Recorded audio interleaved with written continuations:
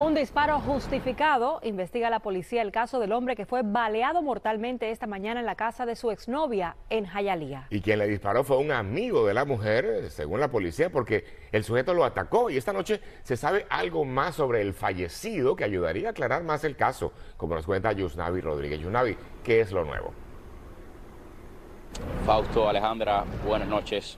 Hace instantes conversamos con un familiar de este hombre. Él no quiso conversar en cámara, está bien dolido, aunque dice que se está recuperando de esto que lo tomó por sorpresa.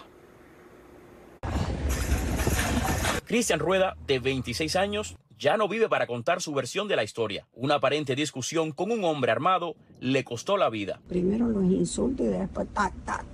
Rueda llegó a la casa de su exnovia en Jayalía, según la policía, con intenciones desconocidas. Esto es un exnovio que ya ha tenido varios problemas con él en el pasado, órdenes de alejamiento, eh, amenazas, cosas de esa, de esa magnitud. Una vez ahí, atacó a Omar Huggins, un amigo de la chica que se encontraba en la propiedad. Los dos disparos. Primero, se, la, cómo, cómo se insultaba y que esto, que aquello.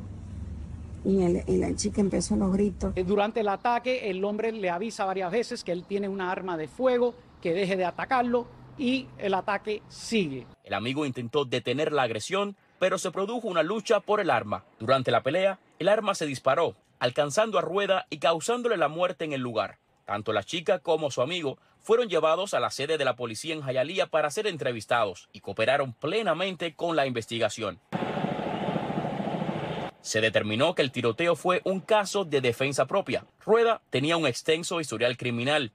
Esta foto de arresto corresponde a un caso del pasado. Ocurrió temprano, un poco antes de las 7 de la mañana, en el 4575 del oeste y la 13 Lane. Claro, estoy un poquito nerviosa, pero porque nunca había visto esto. Sí, se siente mal, imagínate cómo, cómo se siente uno cuando, cuando recibe dos disparos.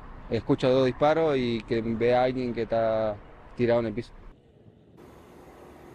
Ahí veíamos a la familia visiblemente afectados por esta noticia. Esto obviamente es un caso que sigue en investigación. Eduardo Yusnavi Rodríguez, Telemundo 51.